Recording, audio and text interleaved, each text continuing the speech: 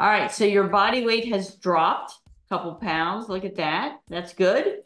So I think I can do more. And so um doing like a plank and then like a plank twist, I'm like, okay, that that was hard.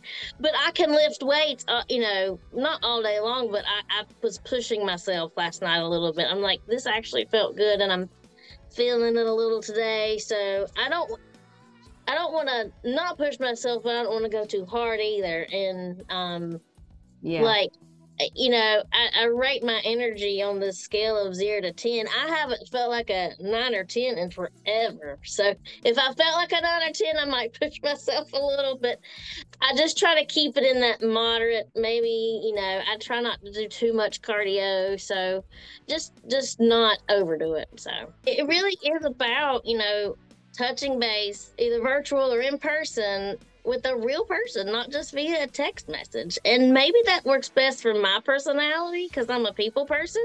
yeah. Um, but knowing that someone is watching my intake, if I'm exercising, I- I'm accountable and more than just, you know, a message. Yep. Um, so I, it's it's beneficial.